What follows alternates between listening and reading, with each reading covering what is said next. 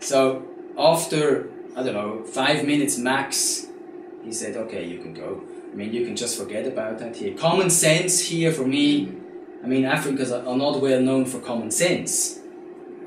But Mm, not it- really. No, not really. This is absolute. But they, the way they communicate with you is like like we speak now, very normal. There's no, you know, you're not an authority and and uh, behaving like an authority. They're just like normal people. At least that's how I so far came to know them. But in that case, you you had money on you, and um, if somebody's driving and is making a mistake and has no money, so they get into a problem, and then it's also getting also bad.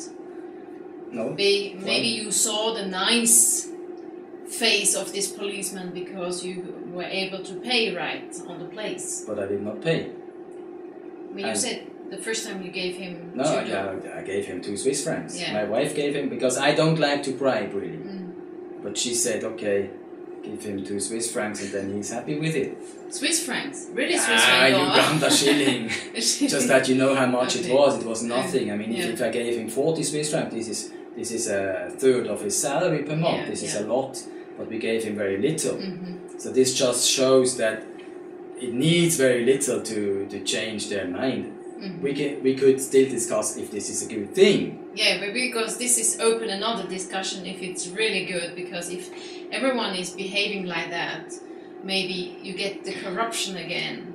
Yeah, you see, there are two systems here. We ha- I think for me, I mean, I've been watching that now for, as you know, let's say 40 years. Since I'm 16, I'm thinking about this life here and the implications and the complications.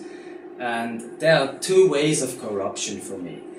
African corruption, we know it's, we call it corruption, yeah?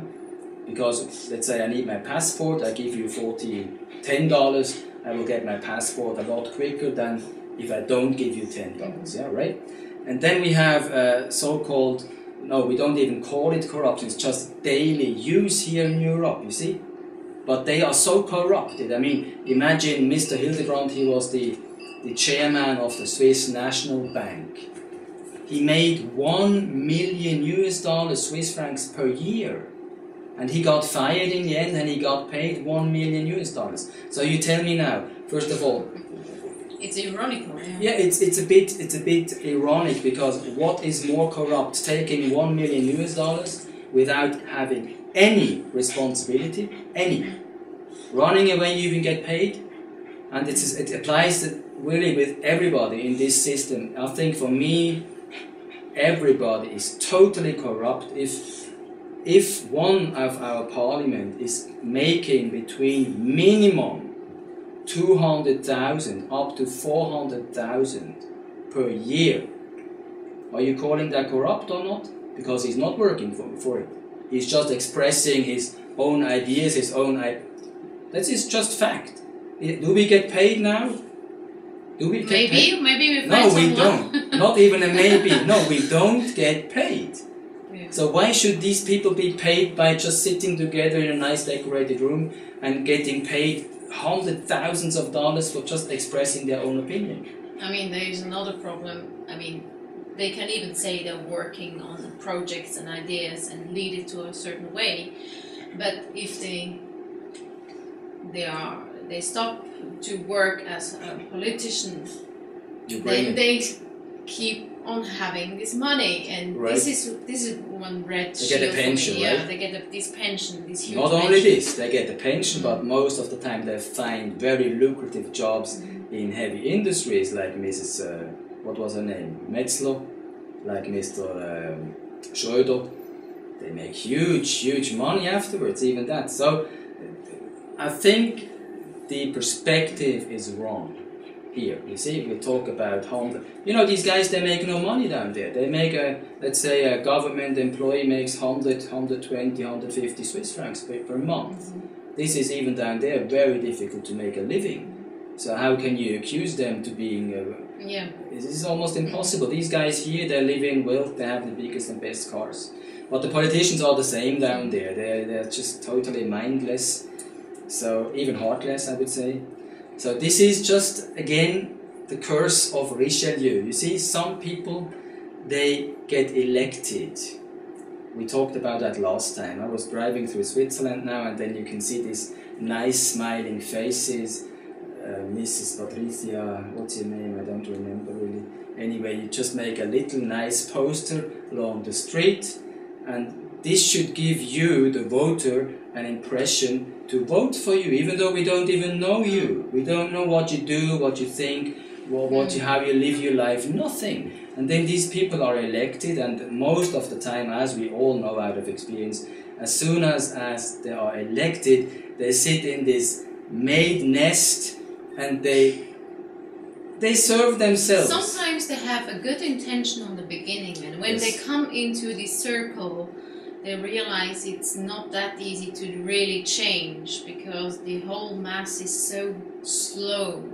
But this is another uh, discussion. I want to discuss more about uh, Uganda because they are beautiful horns from Uganda. Okay. So last time you told me a little bit about your visions to open. No visions today, please. No visions. Okay, a dream or a plan. Mm, No, no plans. Just step by No step. plan. No. Step by step. Yeah. So what about your retreat? Just no plans, no visions today. Okay, so it's secret. Just watch the German version. yeah, you know, the problem is that this experience with what my wife told me just changed my perspective again.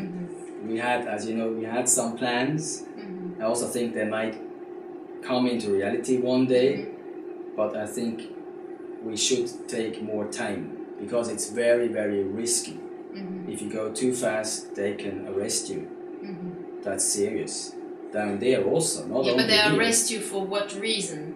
They arrest you because you threaten the HIV industry, because you threaten the uh, medical industry, and I can assure you we can tear that system totally down if you give us the freedom to act. But who wants to tear that system down? Nobody, because like here, I mean, who has the biggest houses in Africa? It's first of all the politician, the biggest house and the nicest cars.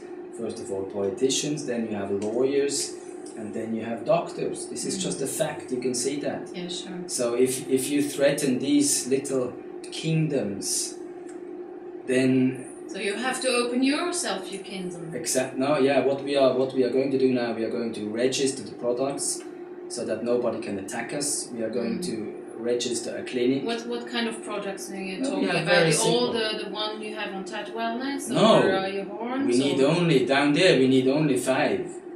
Okay. We have. We have. I mean, Five. What are the magic five? that's right. Even magic three. you know, down there it's very funny and very interesting because the doctors are as blind as here. Why are they so blind as here? Because they were taught by our blind doctors, and as Jesus said, the blind is led by the blind, the blind, and they both fall into the pit. So they, we just had this example because this scared us a bit because one doctor said that a, a customer of ours she had an allergic reaction to our to, our- to our products, which cannot be the case. But this is very risky Mm. for us. Yeah. So the magic three, uh, in case some people from the US watch or listen, the, first is definitely MSM. You hope you have that a lot in the Mm. US.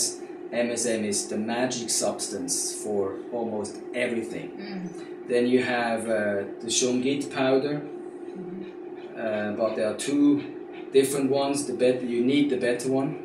Then you have the zeolite, lava stone, milled, grinded, and what else? And silver. Mm. With these four, you can really defeat all African disease. Really, sounds unbelievable, but it's really true. So these are the magic four, and then you have uh, very often, you know, people even here. Somebody told me yesterday, men, you know, not not about sexual desire, but they they do not function anymore. Yeah, in bed. Yeah, how they say. Yeah? You Mm. understand what I want what I want to say. And just by giving them, this is a lack of life energy. yeah? If they cannot function,